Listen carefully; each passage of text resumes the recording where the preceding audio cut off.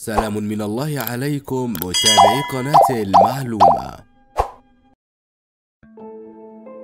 أحيانا قد يشك الإنسان في بعض المبادئ الرئيسية المكونة لأعمدة الأهلية التي يقوم عليها العالم بأسره. فمن المتوقع أن تصفن في أحد الجدران يوما ما لتقول لنفسك لما واحد زائد واحد يساوي اثنان لما ليس شيئا آخر. مثلا واحد زائد واحد يساوي صفر. لما الغيوم تمطر للأسفل بدلا من الأعلى؟ لما لا تذهب للأعلى وتضيع في الفضاء السحيق الواسع؟ التساؤل هذا؟ كان واردا قبل قانون الجاذبية لكن بمجرد أن ضرب نيوتن ضربة لم يعد أحد يفتح فمه. لكي ينكر ذلك. وكل من ينكر هذه القوانين الثابتة التي قامت عليها علوم بحد ذاتها هو إنسان يجب عليه أن يتحسس العضو الذي يفكر به فالعقل بريء من أن يتقاعد في مثل هكذا مواقف. وبالحديث عن تقاعد العقل عن أداء وظيفته يبرز لدينا مجموعة من البشر الذين لا يزالون يؤمنون بالخرافات وينكرون الحقائق الصلبة.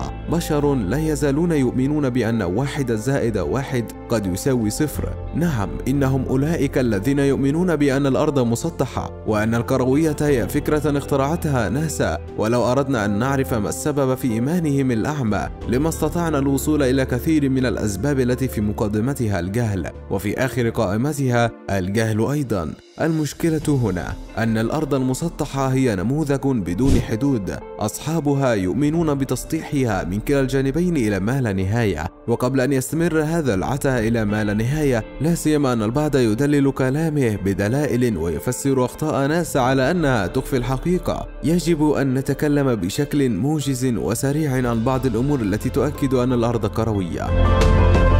أولا الخسوف القمري. علامة بسيطة وسهلة ولا تحتاج لكثير من الدقة حتى تكتشفها. عندما يحدث أي خسوف للقمر وبالتالي تكون الأرض في المنتصف بين الشمس والقمر. تؤدي هذه العملية لتكون ظل للأرض على سطح القمر فيما يعرف بخسوف الأرض. هذا الظل ظل الأرض يرسم على القمر بشكل مستدير وواضح يمكن لأي شخص أن يراه عند حدوث الخسوف. الأمر الذي يشير إلى أن الأرض ذات شكل كروي وليست مسطحة.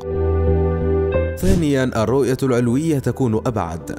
حاول أن تقف على أعلى شجرة وانظر للأفق من أمامك. بعدها قم بالنزول للأسفل؟ وانظر للأفق مرة أخرى. ستلاحظ أن الرؤية من أعلى. ستعطيك مدى أبعد. ومجال نظر أوسع وأكبر من المدى الذي تحصله في الأسفل. ويعود السبب في ذلك إلى أن الأرض كروية محدبة. لو كانت الأرض مسطحة لكانت الرؤية من أعلى نفس مقدار الرؤية من أسفل فالأمر يعود لانحناء الأرض في الشكل الكروي فلا تسطيح ولا تكعيب هنا أيضا. ثالثا المناطق الزمنية الليل والنهار.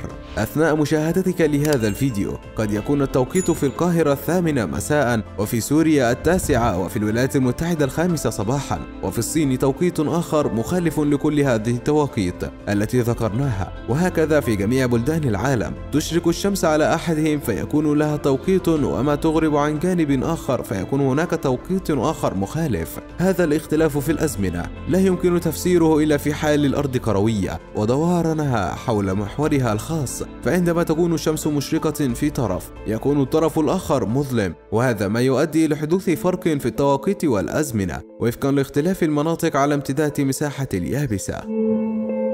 وأخيرا صور من الفضاء. على مدار 60 سنة مضت أطلقت الكثير من الأقمار الصناعية والمركبات التي تحمل رواد الفضاء إلى الأعلى. البعض منهم عاد من هناك والبعض لا يزال. وفي جميع الصور التي تم التقاطها بواسطة هؤلاء الرواد كانت تشير إلى كروية الأرض التي لا تقبل الشك. انحناء الأرض أمر مرئي لا يمكنك إلا أن تراه بأم عينيك. وبالحديث عن الصور من محطة الفضاء الدولية منذ حوالي عام قامت وكالة الفضاء الأمريكية ناسا بعمل فيديو لبث فضائي وكان مباشرا من محطة الفضاء الدولية. وناقش رائد الفضاء المسؤول عن البث كل التعليقات والإشكالات التي صرح بها المتابعون.